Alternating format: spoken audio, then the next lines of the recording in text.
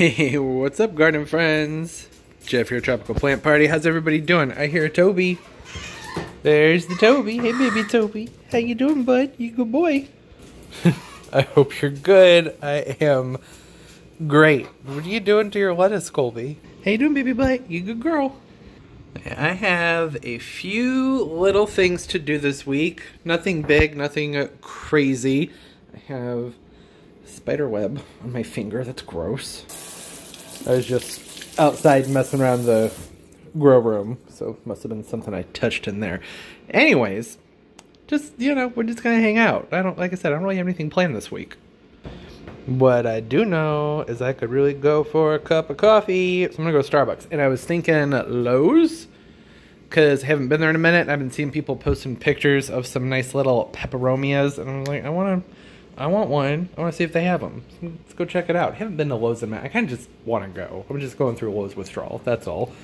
Need to get my hardware store on. Hi, Pumpkin. Yeah, you're such a good girl. You're my baby butt. Then asked why I call her baby butt, and it's because sometimes I call her pumpkin butt, and then turned into baby butt, and then her name just I took me a month to name her, and it, it pumpkin came from I called her sweetie pie for like a month, and then it was almost October, and I was like, oh, pumpkin, pumpkin pie.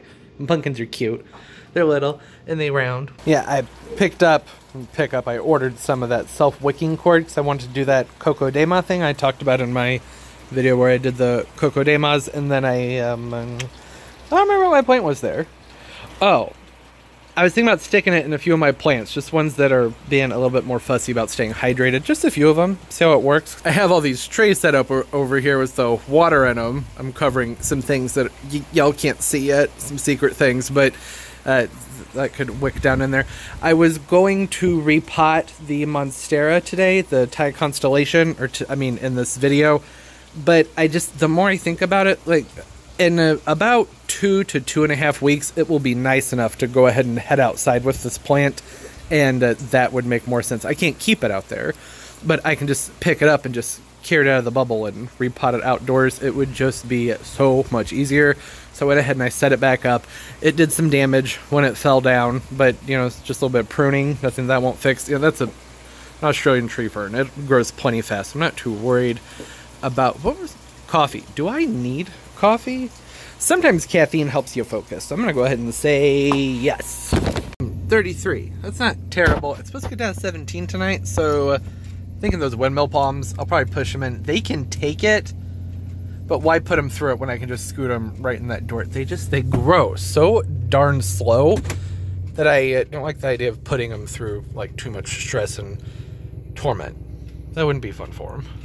Oh, back to my home away from home. It's been a minute. I have to make this fast because the music that they're playing in here is extremely loud and totally copywritten. But look at this. Isn't this neat? I'm sure it's garbage, but we'll, we'll give it a try when things warm up and I set the hose up. Oh my gosh, this place is really packed. They're doing all the spring setup right now, so there are people everywhere setting things up. So this might be kind of short. Have you guys seen the wick and grow pots. They have a little lip in them, so you can just throw your plants that have the wick and grow in them right in there. That's nice. $10? I don't know. They have these too, which are cool, but like really, really cheap and plasticky. But they're raised up, which is again, that's nice for people who don't want drainage holes and drainage dishes and things like that.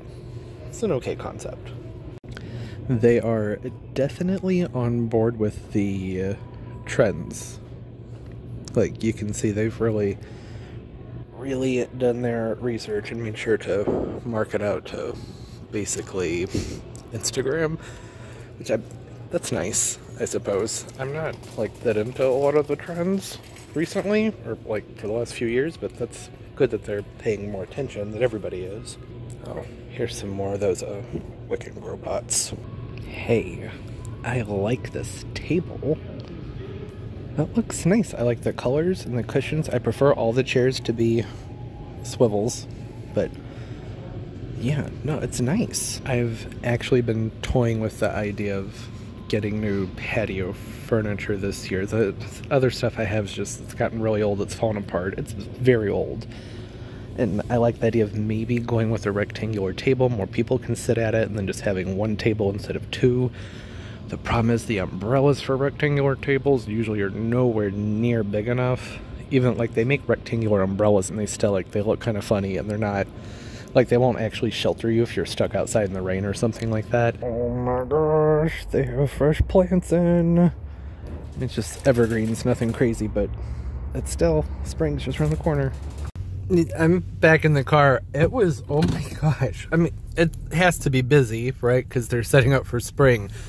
But there was nowhere to go where I wasn't surrounded by people working and talking, and the music was extra loud, which is fair. They probably want to listen to their music while they set stuff up. I get it. I've worked retail, I've had to do the resets and stuff before. It's not very much fun. Actually, I always kind of really enjoyed it, but it's still, you know, it's a lot of work. The only reason I was able to vlog what I vlogged in there was because one of the employees apparently thought he was alone and let one rip like crazy loud. But I thought that that was plenty enough of an icebreaker or excuse be like, I don't really think I need to feel uncomfortable talking to my camera in front of you. Let's see what Home Depot has. They're right next to each other. Maybe they have some neat stuff. I don't know.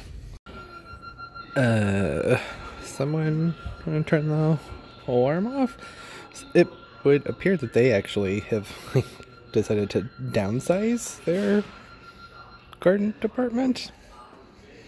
And well, this was fun. Well, since that was such a bust, I'm gonna go by a different Lowe's. It's probably going to be just as busy at the other Lowe's as it is at the one I was just at. But I figured, eh, check it out anyways, see what's going on there. Holy, why are those not strapped down? I don't like that at all. That's making me nervous. Maybe there's a strap running through there. We're at a stoplight. I mean, it's going to be fine. Hey, the false Aralias look nice. It's not too bad for 15 bucks. They're a decent size. Kind of a big plant to have up here on the shelves. They must have just, the pallets must have been overstocked. Love the false Aralias. What else do we have here? Ferns and Hoyas, some Senecio, Rabbit's Foot ferns. Not feeling great about having driven all the way over here, but it's okay. There's still some nice looking stuff. Little bird's nest fern. It's just, I'm getting the itch, that spring itch, and I just like wanted to be around plants and maybe see some new exciting things. It's a neat ivy. Do you have a name? No. The tag just says assorted ivy. It's variegated, waxy, ripply texture. That's pretty cool. I like that. I always like a nice waxy ivy. Lots and lots and lots of bulbs. And some nice looking uh, Dracaenas over there. Those look good. And some Cordylines and I mean it's your standard house plants. And more bulbs. Okay. Well, that was fun. Go actually get some work done at home. Hey, Buggin. Hey, bud, where you going? Thought you were gonna do your stretches? No, not in the mood. What are you doing, Pumpkin? Pumpkin, what you doing? What you doing, baby boy? Okay, bye, Pumpkin. A little bit of Tucker. Hi, Tuck. Hey, Tuck. Hey, Tuck. How you doing, bud? He hasn't been in the videos very much because he'd been sleeping. He just turned 12. He's an old man now. He hasn't gotten to his gotcha day yet, but his 12th birthday happened. So figure while he's down here eating, we can show some Tucker and Toby time. Hey, baby Tobes. Hey, baby Tobes. Pumpkin, you still back there? Here you are. Hey, baby girl. How you doing? That's a lot of dog going on. You okay with that, Pumpkin? You okay? Where you, are you gonna go? Where you gonna go? Yeah, you're not afraid of the dogs, are you? Yeah, you petting yourself? Mm-hmm. That's why my clearance sofa's in here. because it's the one the dogs use, and you can see how that's going. Great love seat though. I got that thing for like I think it was eighty-five dollars. Might have been one twenty-five. I got this and the table at the same time. One was eighty something, one was one twenty-five. And how did we get here? That doesn't matter. Would you like a cookie? Yeah, I know you would. Wow, it's dark in here. I know. I'm not gonna throw them to you anymore because you don't catch them. The thing is, Tucker's having a really good day, and he's he's reached an age where he doesn't have those as often anymore. So that seems like the best time to make sure Tucker makes it into the vlogs. right? Yeah, good boy, good boy. Okay, one more. I'm, you're not supposed to even be having any of these. How it is, they get old, you kind of gotta spoil them. Hmm, good boy. Guess what I'm up to now? Yeah, doing some drilling. I just came out here and I was messing with some of my pots and remembered that I had several that I needed to get some holes in the bottom of. And typically I end up kind of waiting until it's nicer outside. And that's just because it's a lot easier to do this when you have a hose and you can see it's really messy down here. I mean, look at that. See all that? It does make a big mess. So it's not something I usually do indoors, but yeah, I got this oil pan for a buck from the dollar store last week and I realized like this is kind of the perfect shape for this, at least for smaller pottery. So I already started working on some of them. These pretty multi-chrome pots, the middle of them, you can kind of see in there, maybe. Yeah, you see there the center, right there where my finger is, it's raised up. So after I drilled the first hole, I realized that's not going to work because the water is going to settle around the sides in here. So I had to drill holes on each side, but that's okay. That's just extra drainage. So one of the reasons I leave the tags on some of my pots sometimes is really it's only with pots that don't have a hole in the bottom because sometimes it helps provide just a little bit of traction when you start to drill. I don't know if you've ever drilled your own pottery. Uh, I guess we can talk about it real quick since we're here and we're doing it. All you need is a diamond tip drill bit and then uh, something to put your pot in and then uh, something to squirt some water with. You don't want this bit, you don't want to use that on a dry surface. It'll wear it out very, very, very quickly and these are kind of pricey, these diamond bits they usually range in price from like $18 and up. I think this one right here was 29 or 39. Uh, I've had it for a couple of years, so I can't really remember how much it was, but like kind of pricey. It's not something you want to have to replace all the time, right? When I'm drilling a pot, I go and make sure the top is nice and wet to get things started and then I like to start off at an angle. I like to make sure that it's at an angle because it kind of puts a little bit of a divot in there first that helps you get a better grip when you start to straighten out the drill bit. Just apply nice, even, light pressure the entire time. That way when it's done, it doesn't, you know, jam itself through the bottom of the pot. And that's it. sometimes it helps to kind of go a little bit heavier and then lighter, a little bit heavier than lighter some tilts here and there. Ultimately, I just try to be uh, gentle and take my time with it because the, like I said, you apply too much pressure, one that wears the bit out a lot faster, and then if you go way, way, way too fast, then out of nowhere when it's done, that your entire drill, your driver just go right through the bottom of your pot and break it. And you know, that would be a big waste of time, right? Don't need to do that. That's it. It's easy. Not always perfectly centered, but that doesn't matter. Okay, next thing on my list. Amazel basil. Always something going on with this basil. It's just, it's growing like a champ. So uh, it has been, I don't want to say high maintenance, but it's required a good amount of water and, um, well, pruning, but mostly just with the flowers. Those lights I have on my shelves where I've been keeping these, they really, man, they're really good for flowering. That's for sure. Because what was it? Like, one or two vlogs ago that I went ahead and I pinched these and I pulled those flowers off the tops. Now I already need to do that again. And in fact, you know, why don't I... I'm thinking I'm going to go ahead and give this like an actual nice size prune. Give the soil a top dressing because this one, this plant in particular is one where I have really been struggling with keeping it hydrated. And it's not that it needs to be bumped up into a new pot that's not the case. One of the reasons I put these, this and my poblano into a clear pot was so that during the growing season, not the growing season, this winter season, we'd be able, um, tripod, no, no, get back up there, what you doing? So that we'd be able to kind of get a look at these and see what's going on down there beneath the soil. And uh, can look right in there and say, hey, that's not root bound. It's not there yet, so I don't need to repot this. But I did pot this and the poblano up into a, a pretty light and airy mix. I tend to prefer to go uh, on the drier side with my mixes, especially if it's plants that are coming inside for the winter time, just because it's it is so much easier to rehydrate a plant than to bring one back from being overwatered. I would rather have a plant that requires lots and lots of frequent watering over one where you water it once and then like two weeks later it just starts to wither and die because it's drowning. It doesn't work for me. I don't like that. So that's just my growing style. It's how I've learned what works for me. With this basil, though, I was going to prune those flowers off. I'm thinking that it, it would actually probably be a good idea to give this a pretty heavy chop and get this to bush out more from down below and hopefully encourage some root growth. And I'm not going for any type of like crazy specific cuttings here. I'm just going to level the entire thing off. Yeah, I know, might seem dramatic, but remember, this is something that we grow so that we can harvest it and eat it. So I will be able to do that, which I am excited about. We'll make some pasta sauce or some pizza or something like that. Who knows? There's, there's this has been bothering me. And my snipper's out. Might as well get that. Oh, okay. Went well, lost one. I didn't mean to. That's okay and now there's less foliage for those roots to have to support as well. So, but ultimately the idea here is I want it to bush back out. I want more growth coming up from the sides. You can see it sent this one up down here, and I would like for it to do more of that as opposed to climbing up higher and higher and higher.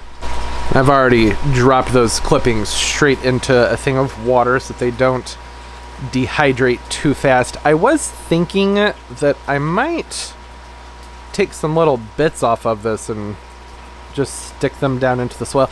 Although I did just say that the soil dries out kind of fast. That might not be the best thing for propagation, but I think, I don't know. This It's so easy to take cuttings from this and propagate it.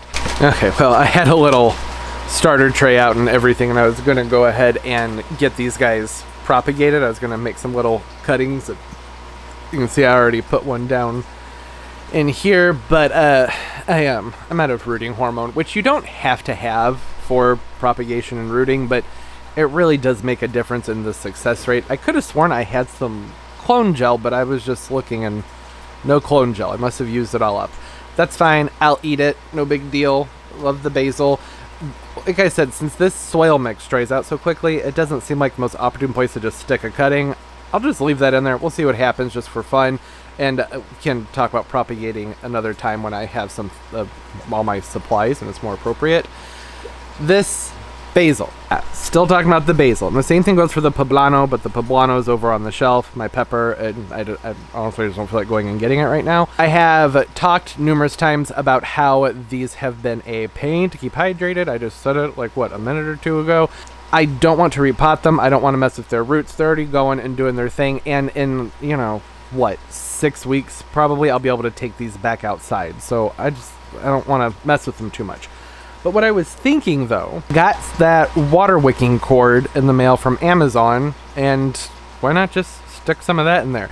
It's not going to make a gigantic difference in how well the plant stays hydrated, I don't think. But the thing is, this this basil, like look at how thirsty it is, and this was watered heavily very heavily just yesterday, and she's already thirsty again. I'm thinking uh, what I'm going to do here is this is an experiment, by the way. I do have a separate video that I've already started working on that'll be out about just some things about self-watering pots and moisture meters and all that fun stuff, but I don't really think this is the place to do that. I kind of want to kick this off for sort of the experimentation phase with, you know, just like cheap wicking cord and I need some sharper scissors, but they're pretty. That's the problem. I never go buy new scissors because the ones I have are so pretty. What I figure I'll do here, I'll, what am I, hi, there we go, is just kind of get that cord pulled really tight onto the top of this chopstick here, and then just go ahead and jam it in the bottom. I wish there was a hole in the center. See, that, that wasn't in frame. There's not. So I'm going to come in here through the side and I'll go in at a slight angle just to make sure like enough surface area is covered. And then pull that out. Perfect. Wow that was incredibly easy. So I don't think these two little cords here are going to make a gigantic difference in uh, watering this plant but what I'm thinking is that it may at least reduce the frequency because ideally with our plants you want to water them before they start to look wilty and sad right? Uh, sometimes it's just what happens, and it's the indicator, and it can take a while to kind of learn the pattern and the rhythm of the plant. There's so many factors with the soil, and that's a whole whole long thing. One of the hardest questions to answer for people is always, how often do I water my plant? And I was like, I don't, I don't know. I don't. I don't. I don't know your life. I don't know what you have it potted in.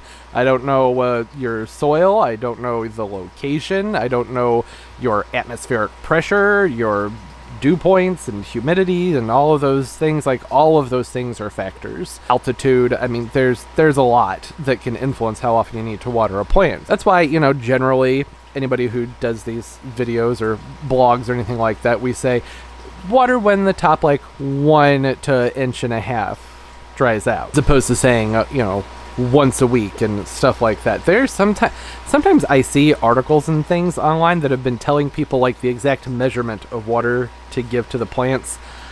I think that that really gives a uh, a false sense of security to people who are new to gardening and uh, because uh, most people I say new to gardening because most people who've been doing gardening for a while you we know that there's not an exact measurement how much water to give to a plant like pretty much ever you water until the water comes out the bottom of the pot. I repeat that. I do three flushes. Water on the top comes out the bottom. Water on the top comes out the bottom. Water on the top comes out the bottom. Three times.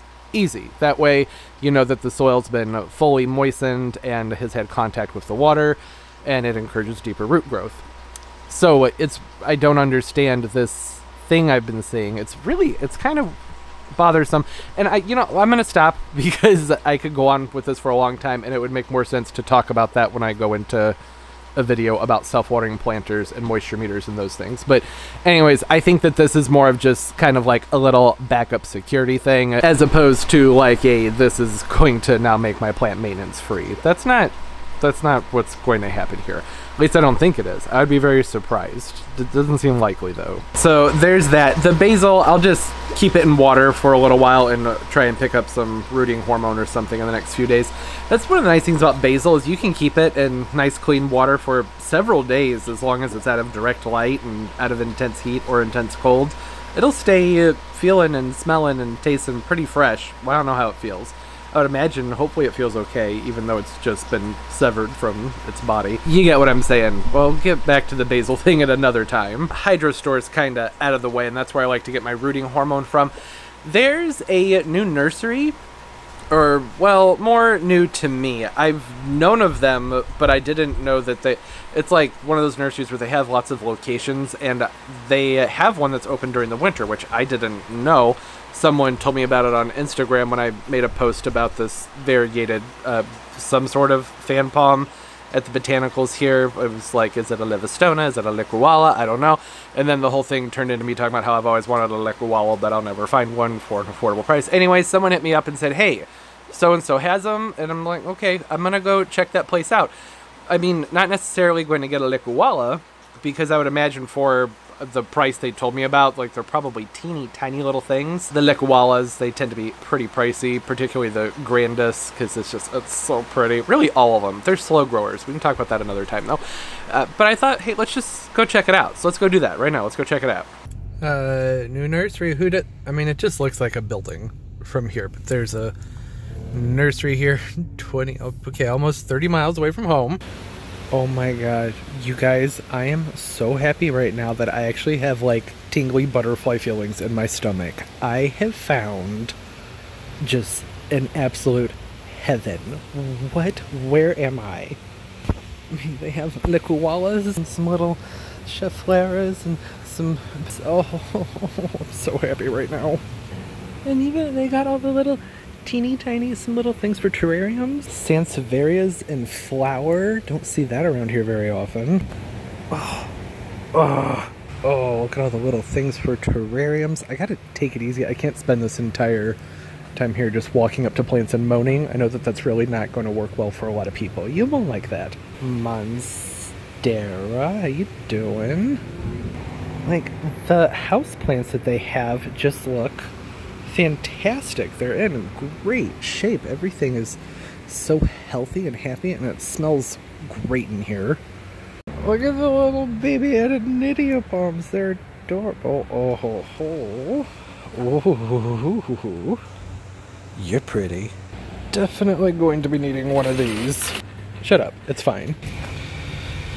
My gosh, these plants are just everything is so stunning. Uh, Bismarckias, that might be a red latan, but similar. Just so much variety. And everything looks good too. Look at isn't this stuff cute? They even have all these little bromeliad displays. Those are fun. This one has some crazy foliage. Gorgeous. Having multiple plantgasms today. Oh, look at this. I even like how they have things displayed with that nice chartreuse foliage down here from the Dracaena, the limelight with the Kentia palm behind it, then the philodendrons and the contrast with the fiddly fig, and then down here with the aglaonema. Everything is very well thought out. I'm impressed. It's just a scan of things. I couldn't possibly walk through and show everything, and I'm shy about vlogging in public too. So, but I've already been caught, so it's fine. Great big healthy syngoniums, gorgeous ficus, some Adansonii, monsteras. Their palm selection is really good too. They have these uh, bottle or spindle. I think these are spindle palms or a combination of both. The orange is usually spindle, but they all like they look nice, and like I said, the prices are pretty dang good too. Ooh. Oh, you're a pretty one. I do not need any more crotons. I mean, not right now. Give it a month, and I'm sure two months. Two months actually, and I'll probably be picking some more up. But I don't need them. They just they fit into the landscaping so well during the summer. Yeah, there's a little bottle palm, so you can kind of see the difference there. There's another one back there on the table. Their fronds tend to curve out when they're a little bit smaller, usually slightly less orange. I don't, I'm sure there's a better way to describe it. After a while, you just kind of start to recognize them. I don't, I don't, that's not not the most educational way to do it, but see, bottle palm. See how the penne doesn't come all the way down there, whereas the spindle palms, it's more down towards the crown and I mean just orange. Did I mention that I was just in there to find a $20 plant for a plant tag that Pam's Planty Things put me in? Well, it's okay. Reimburse me. We'll be fine. That'd be funny. Just go out and spend all my money on plants and then say, reimburse me. There's a... Um, was that as good for you as it was for me? Oh my gosh. That place I was just I was in plant heaven. It was so nice in there. I um I picked up a few things. This one a little bit heavy on one side. I don't know what variety of bromeliad this is. It's some sort of Neoregelia. I said I'm just gonna let this one kind of hang out right there because I think that it would be happier not just constantly falling over as I'm trying to film it. It's some sort of Neoregelia. It has the spread of some sort of fireball hybrid. I, I don't know. It's hard to say when uh, one it's wintertime and then they're in a greenhouse because the light really affects their pattern and coloration. So I kind of hesitant to go online and try and identify it, but it's pretty and uh, it was very affordable. That nursery, the people there were just so incredibly friendly and uh, diligent. They packaged all of the plants up in paper, which I'm not used to. Well, I just don't live someplace where I usually think it's cold enough to that because it was like 49 degrees, which for something that's flowering, that's, you know, that can be a shock, but just from like the door to the car for most plants, that's okay. But I mean, that's good. It shows that they take pride in their plants and they want to protect them. But some of the plants that uh, were kind of big. This one, no big deal. Really pretty bromeliad. I think that this will look nice, possibly like mounted up onto a piece of driftwood or something like that with some other moss and tillandsias and things. It just, it has that nice jungle vibe and just look at how well it's suckering and spreading and putting out the pups. I'm really happy with this one. It was a really good price too.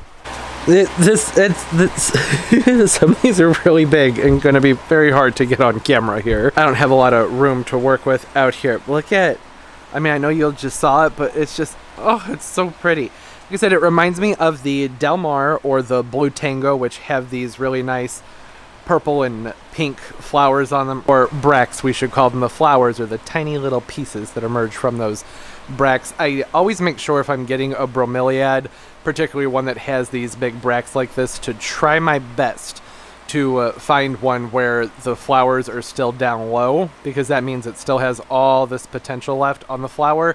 They were all about at the same place in the nursery, all the ones they had. This, like most of them, were pretty close to being to the top of the bracts, pretty much close to being done flowering.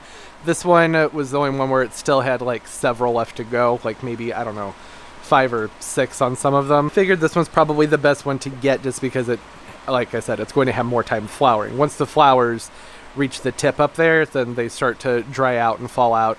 And uh, different bromeliads, the flowers can still last a really long time. The bracts can last a really long time even when they're done flowering. Just kind of varies from plant to plant. Oh, and this one is Aechmea america. That's the variety on this one. They did have a unbelievably gigantic. It was either a Delmar or a Blue Tango in there. It was not that much more than this one, but I just I have some Delmars and Blue Tangos, and I thought, well, why not mix things up and get something that's variegated so that even when it's done flowering, it'll still look pretty. Now, they're monocarpic. Once this flower dies off, eventually the mother plant here in the center will start to fade, but that's okay because look, it has an offshoot. There's multiple plants in here. So, uh, you know, within, I would say, I mean, probably this time next year, I would imagine that pup over there, that offshoot, will start to bloom that's not a big deal. This will just keep growing and keep getting bigger and bigger and bigger. And sometimes the central plants and the bromeliads will hold on for a very, very long time. They don't always just like rot out and die like you would have with like a sempervivum, which is a, a hen and chick, you know, the hens and chicks. I do tend to be kind of picky with variegation. I tend to prefer things that are variegated more towards the white and creamy sides of things. This one is fairly yellow, but it also still has some of the white in there, and it's fairly subtle. It's not like bright, crazy yellow. The foliage on its own does, like from a distance at first glance, just kind of remind me of you know like your standard corn plant, but you know a Dracaena, but it's different, especially because on the undersides of the leaves. It has this neat pattern, that nice glow that's going to come through there. I will be keeping this someplace where it's only going to be getting filtered light because I would imagine this would probably scorch fairly easily, depending on the time of year, especially with it being variegated. That's going to make it even more delicate. But I just, oh, she's so pretty. Chances are, come summertime, when it's time to move this plant outside, that that bract, that bloom right there, will be pretty spent and done. But the foliage is still really nice to look at, so it's okay. But could, oh my goodness, guys, I just realized I've had that fan on this entire time. I hope that that wasn't bother. Turn off. What's wrong with you? I am so sorry. The audio is probably all kinds of messed up because of that. What? What? What do you think's here? What happened? Oh, what did I do? I'm okay with it. Licuala grandis, a licuala palm. This is a plant that I think uh, definitely deserves its own video, its own spotlight partially because I, I really I gotta do some work with the lighting here for this plant. Look at how cool that foliage is. You see why I've always wanted one of these. Now, this is a plant that will end up getting its own uh, spotlight, uh, so I'm not going to go like too much into detail on it. I already talked about the licualas and how they can be kind of pricey. That's because they're slow growers, not the easiest to care for either. Look at that foliage, isn't it gorgeous, especially considering it's been indoors in a greenhouse. And yes, the foliage stays like this. It's not like those are immature leaves. No, no. They always have that fun cylindrical shape to them. There's a little bit of discoloration in there, but these tend to have some modeling and some veining within their fronds, so I'm not really concerned about that. And they have very nice spiky insides. Look at that. It's still it's pretty though, isn't it? They're just they're such an interesting type of palm tree. They look fantastic when they're planted up in like a nice decorative pot and someplace in the like dappled light. They don't like full sun. What am I doing? This isn't a care video. It's just pretty. Isn't it beautiful? It's a plant where when I can do a spotlight on it, I'd like to like actually be able to get it into frame. I'm like all the way back against the wall. I can't get any further away.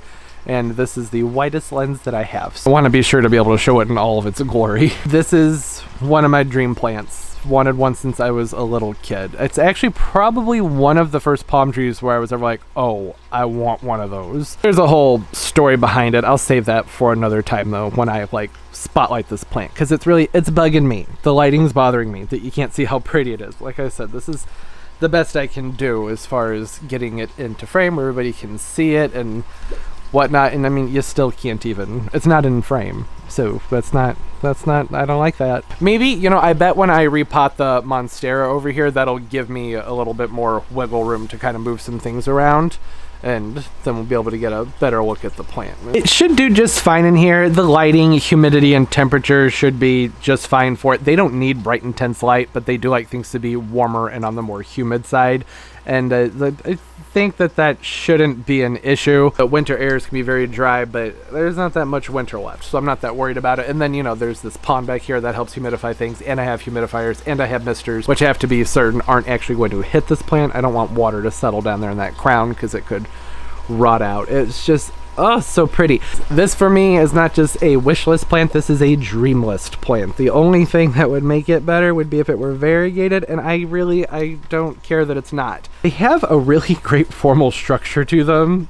I guess you just have to take my word for it since we have to film it from down below and I'm up against a wall right now. You can't get any further away. I guess with that in mind, there's no reason to go on about it for too long because, like I said, I'd like to talk about it when I can show it off in all of its glory and not just when I'm pressed up against a wall. And I also got a windmill palm. It's a pretty good size, and the price for it I thought was very reasonable because it's windmill palms again are a really slow growing type of palm tree and uh, because of that they tend to cost a lot so this is had a decent amount of size on it was $69. So uh, that'll be a nice addition to the palms that I can keep outside for the majority of the winter time. Uh, I did, did too many things happened in this vlog and didn't happen at the same time because it's just it gets so hard to title a video where it's like 20 different things go on. You know, with the went to Lowe's and then uh, drilled holes in pots and then cut back a basil and then did self-watering cord and then went out and got one of my dream plants. I try to not do that as much as I used to, but sometimes it just happens and it's worth it because I mean, look it, look it. It's just so pretty. When it's not in focus, it's beautiful and worth it. So I'm gonna go ahead and wrap it all up here before I just start to really make this even worse than it already is you know, it's a vlog. It's how things go. It's, you know, day to day life and what's been going on. I'm sure whoever's out there watching, I doubt you're doing the exact same thing every day, right? That would be kind of boring. Yeah, anyways, I got all my social media linked down below. I use Instagram way more than anything else. Oh, Stromanthe poking through back there. It's looking nice. And don't forget to like the video. It makes a big difference for the channel, and I appreciate it. And subscribe as well and hit that notification bell. That way you know when new videos come out. And comment down below. I love talking to y'all. Say hi. Does anybody y'all have experience with the Licualas? Especially those of you down in Florida. Like, I mean, I guess you have to be like way down in Florida to keep these outside year round, but still, they're so pretty. Let me know. What do you know about them? Or just some other fun plants you've been stumbling upon, or some of your wish list plants and whatnot. Experiences with self-watering. Oh, the, it's not over here anymore. I had a self-watering thing over here. Experiences with some self-watering pots, cords, and those sorts of things. Let me know. Fun recipes that you like to do with your basil. Doesn't matter. Let's just talk and have a good time. Oh, wait, whoa, whoa, whoa, whoa, whoa, whoa. Can't. Nope. Gotta get off the tripod here. Forgot about the poblano update. Didn't. I don't think we did. I don't think we talked about the poblanos yet. So over here is where I put the basil and the poblano. You can I put two cords in the poblano, and I decided that that seemed unnecessary, so I just ran, well, two. So there's two and two. It's one quick. You get it. So I did one set of them down into the water, and then the same with this one. So they just kind of, I don't know if you'll be able to see it, but they dangle down in there. They'll wick the water back up. I don't know. We'll see what happens with them. The poblano looking good. Look at all those flowers. I think that those were there last week. I'm pretty sure in the vlog. Some of them are starting to fall off and uh, get ready to turn into actual little fruit. And then the peppers themselves are, I mean, I don't, can I pick them yet? No, those are still really firm. Poblanos get really big, but when they're indoors and it's their first set of peppers, I don't know how big they need to get to come off the plant because even if they're not gigantic like you don't only get poblanos just so you can stuff them sometimes they're good to cut up and put in salads and whatnot. Anyways that's the plant. It does have lots and lots of flower buds on it and more peppers that are going to be showing up here. This would have been a good plant to also do a cutback on but since it has all the flowers on it, I thought I'd just go ahead and leave it. It seems happy, so I'm not I'm not gonna mess with it. It's fine how it is. I just got like a piece of dust or something in my contact lens and it feels like my eye is on fire. I gotta go. I gotta go take that lens out and like wash my eye out. It burns. So I hope everybody's doing well, having a great day and a great life, and everything's just going beautifully for you. Why I said that like it's a question. I do hope everything's going beautifully for you. Uh, and as always, and most importantly, everybody, keep on growing. Bye bye.